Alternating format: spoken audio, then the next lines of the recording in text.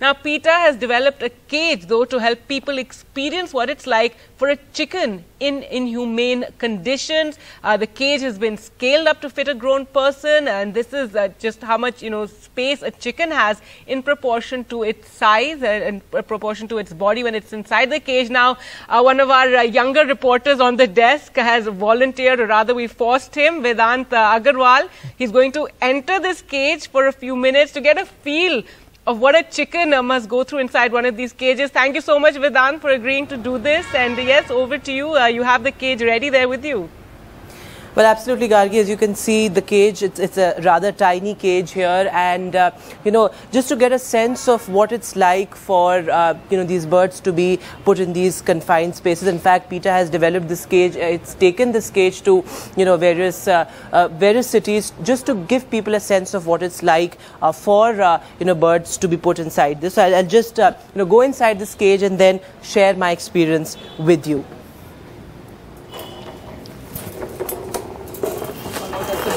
Small cage, Vishnu. Yeah. Oh my God. All right, so Vedant's going to be in that cage for a while.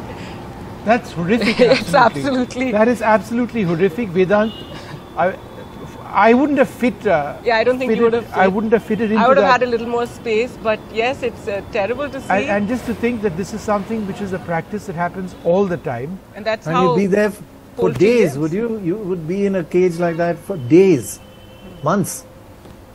Yeah, I mean, un, un, unthinkable. It's it's absolutely Vedant. Uh, thank you for actually agreeing to do this. Uh, you know, I mean, it's uh, it's pretty difficult over there. Thank you very much. Indeed. But let's now go back uh, to my young colleague uh, Vedant, who is inside that cage. We last left him inside a cage to get, you know, a feel of what it feels like for, uh, you know, chickens who and, and poultry that are kept minutes, in. But it's, it's horrific. so Vedant, it's been a couple of minutes. How are you doing? Tell us what it's been like. You can come out now.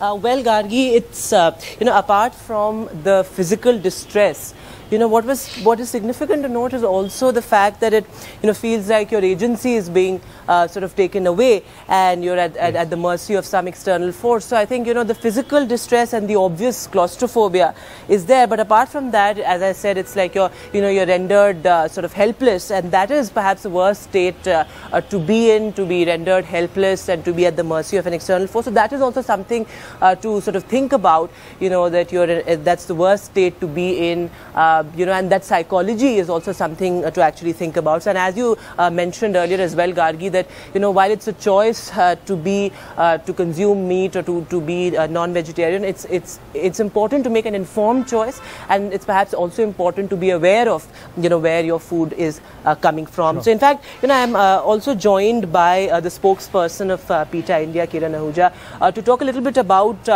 you know how birds. I mean, this was just a taste of what it's like for birds to stay in confined spaces. To talk a little bit, little bit more about that, and also you know a little bit about what is uh, you know, the relation between uh, birds in cage and human health. Yeah, hi Vedant, thank you for having me.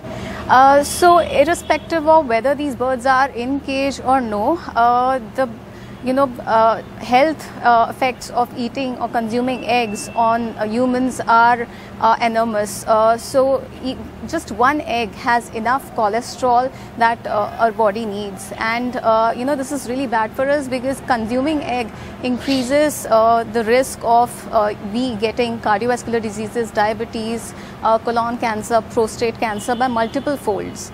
And as you know, these hens are, especially in factory farms, kept in such filthy and deplorable conditions. Uh, you know, it uh, usually causes infections. And uh, to prevent that, what uh, these factory farms do is pump antibiotics in uh, the hens. And these antibiotics are, of course, not good for us because it causes antibiotic resistance in humans. Um, and not just that, I mean, otherwise, also these infections can you know, turn out to be zoonotic and uh, can be a huge public health risk. And this one, right? not not just for our health overall. Consuming egg is uh, is uh, you know ethically not right because as you can see, um, you know, in this picture, the hens they are kept in such filthy conditions, uh, and uh, when while, while we cram them in such conditions, it often leads to pecking or the hens attacking each other right. and Well, that's right. So here, just a sense of what it's like for these birds to be kept uh, in these confined spaces. So, you know, the, the great initiative by PETA India and also, you know, just uh, for our viewers to be, uh, you know, aware of where their food is coming from. Gargi.